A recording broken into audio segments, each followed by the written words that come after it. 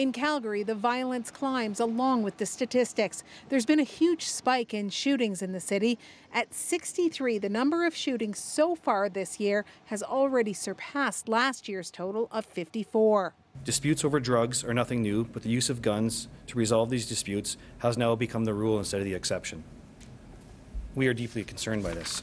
So is Ottawa. Shootings there spiked 35% last year from the year before. Police are calling it a mini arms race. But what it is not is a sign of a trend in this country. In fact, Statistics Canada reports between 2009 and 2012, firearm related violent crime dropped dramatically by 27%. That's 1,800 fewer victims of gun crime in Canada annually.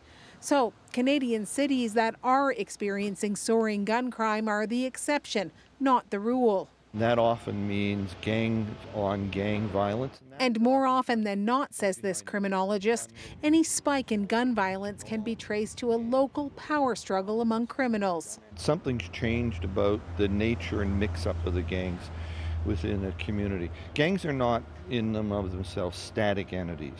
In Surrey, a turf war over control of a profitable marijuana trade has resulted in dozens of shootings, even one death. Earlier this summer, the federal government approved 100 new RCMP officers to help break it up.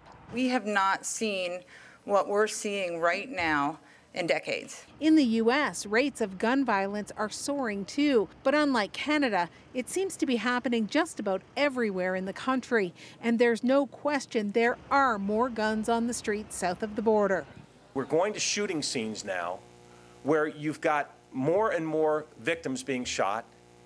You've got more uh, uh, spent rounds being collected as evidence. No doubt it's a bigger, more complex crime problem in the U.S. But this week, police chiefs from across Canada met with their U.S. counterparts to discuss gun violence and how to turn it around. Carolyn Dunn, CBC News, Calgary.